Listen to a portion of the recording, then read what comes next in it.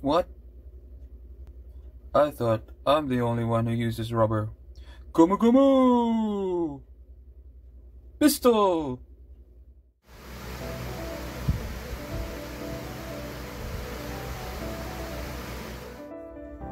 Hello everyone, welcome back to my channel or welcome if you're new. And today, on our episode of Is It Worth Buying, we are going to break down whether Mirage Fafnir is worth buying. Well, what do you think? Hmm? Definitely. Definitely worth buying because this is Free La Hoya's Beyblade. And Free La Hoya is my favorite anime character in Beyblade Burst. It's just so cool. And so is this Beyblade. Yep. I'm telling you right now, before we analyze, buy this. Not being biased, but yeah, let's break it down.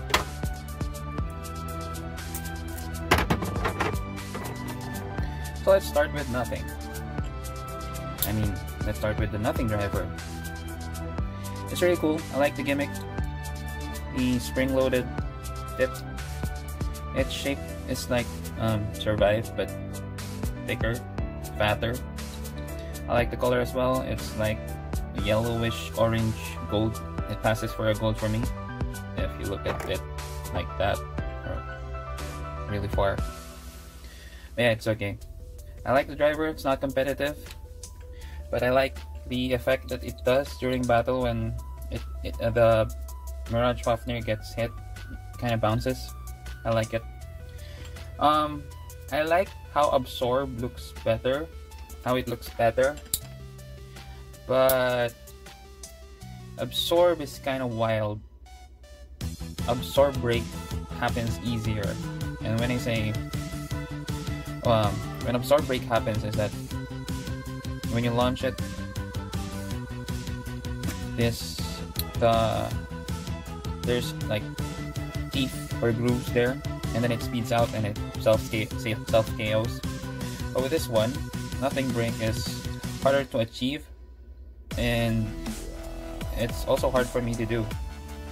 But when I see other videos of Mirage Fafnir getting launched at the beginning of the uh, fight, it moves around really fast and then stays in the middle. But me, I rarely get to make it do that. I don't know, probably with my copy of the Nothing Driver, it varies from copies.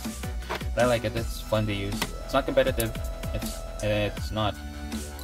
I see this used on Rage Longinus just to maximize its upper attack. Um, since Rage Longinus is heavy, and then this will get pressed even more, it kind of lowers the double chassis of the 3A which then makes it easier to scoop up the opponent, giving it the upper attack. But it makes your Rage Longinus more stay on the middle of the uh, stadium. And the 2S, Strangler in shape. Pretty, pretty cool. Kind of reminds me of Blitz. But Blitz is an attack type of um, disc. This is supposed to be a stamina one. Actually, this is good for attack. The shape of the triangle. Um, yeah, for me this is good for attack. Kinda hits you like this. Although it's really smooth, it, will slide down, slide up, slide off. Yeah, it's,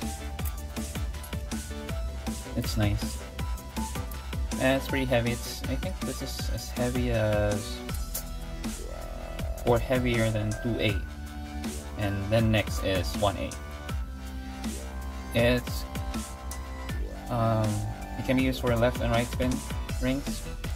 So yeah, more options, pretty good. And this actually takes part with a gimmick of the Mirage. I'll show you later. And look at that. I would have loved if they made another dragon head here like in the GT Fafnir so that when you flip the there's it, it's the same like you know in cards where you flip the king, and then there's another head, it's just like the same orientation.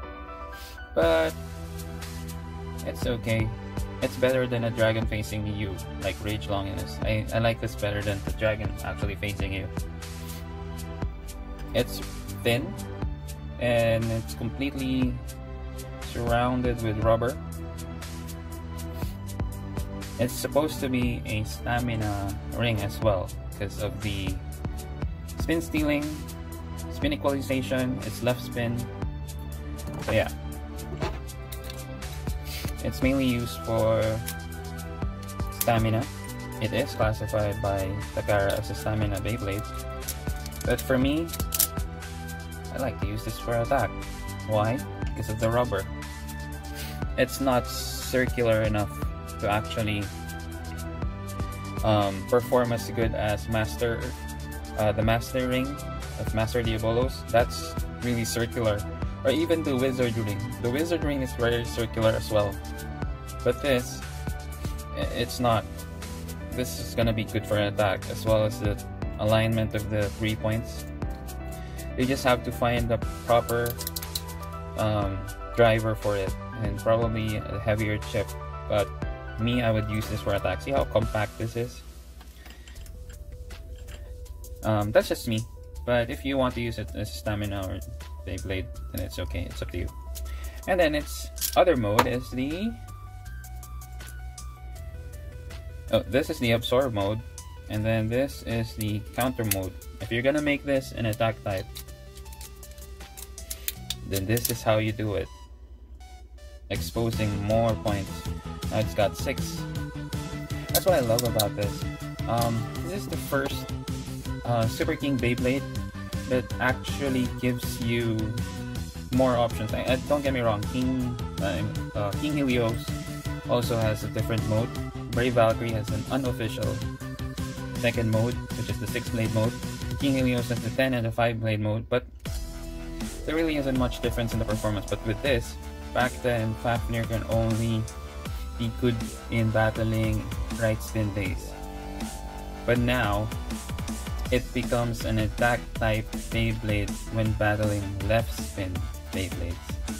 It doesn't say that, it's still a stamina type. But I mean, look, it, it, it adds to the attack. Now it's it has 6 points that will hit its opponent, plus the rubber. I'm telling you, do not make this stay in the middle. Use a driver that will, that will help it um, KO or what um, do whatever damage to the opponent because it has rubber. There are only two. There are only two Beyblades that has rubber, and that's Brave Valkyrie and this one. And this has the most rubber when it comes to the ring, accounting 2A. Yeah. So I will keep on testing this. This is my favorite Beyblade so far. Um, because it gives you options. And then Spriggan's gonna come out, so yeah, I'm gonna be torn between them. And also, oh yeah, I forget, Tempest also gives us options. So yeah, Beyblades that gives you option are good. Remember, options are good. So yeah, pretty much um, really cool Beyblade. It's fun to use and you can do the hand spin thing which will then also result to sometimes the low speed bursts. Look at that! How cool is that? You go to your friend's house and battle them and then, oh I didn't bring my launcher, I'm just gonna hand spin it. But their Beyblades are also left spin, so that won't work. You're gonna borrow their launcher. But still, it's cool. I mean, how many Beyblades can you do? A hand spin launcher, right? That makes it super worth it. Now, let's give the verdict. Is Mirage Fafnir worth buying? If you're collector, yes, because because why not? Hello, this is Mirage Fafnir. It is the final evolution of the Fafnir line. And if you are an anime fan who doesn't like shoot, I mean free, who doesn't like free, eh, get it.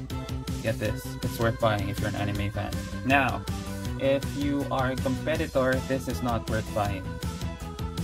It isn't. There are far more combos that can be used in competition that would give you a higher percentage of winning. So if you're looking for sure win parts, there are other Beyblades in the GT line that's still better than this. If you have Master, you have Rage, you have Tempest, and then if you're gonna have Spriggan, there's a lot more Beyblades you can use. So yeah, if you're looking for competitive parts, this may not be part of the priority unless you've come up with a good combo for the one the 2S. Nope. But me personally, I'm gonna use this in competitions. I don't care if this is an underrated Beyblade. I'm definitely gonna use this in this format. Just the 2D and the Mirage. I might even keep the cheap chip, just change the driver. That's me, I like making combos that are not, you know, meta. And try to prove that they can be beaten. So yeah, that this could be one of those type of Beyblades. I like the small ones like, like Knockout Odin or Crash Ragnarok. Um, for me, this is the Super King flag bearer of the small Beyblade. And if you um, are less privileged and do not have enough money to buy plenty of Beyblades, you can only buy one and two. I'll be really torn with this. Again, it's because it's Fafnir and um, it's Free's Beyblade.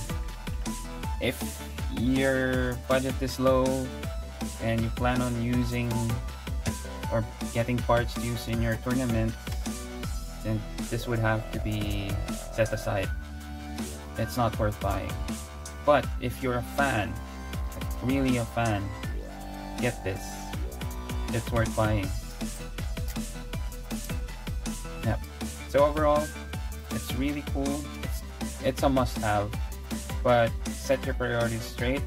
Um, if you can only afford to buy um, certain bird Beyblades, like one or two, with the maximum use, this isn't this isn't it. Uh, again, Brave Valkyrie and Rage Longinus. Tempest Dragon if you have the money, um, or just wait for the new Spriggan, but this would have to wait if you do not have the budget for it. If you do, then good, get this right away. I'm recommending it. If you have the money, get this. Get two of this. It's really nice. So, that ends our episode for today. Thank you for watching, and I hope you I hope I was able to help you budget your Bey money and for all your Beyblade needs, just look at the description below. Again, thank you for watching. Subscribe. Bye. Keep safe.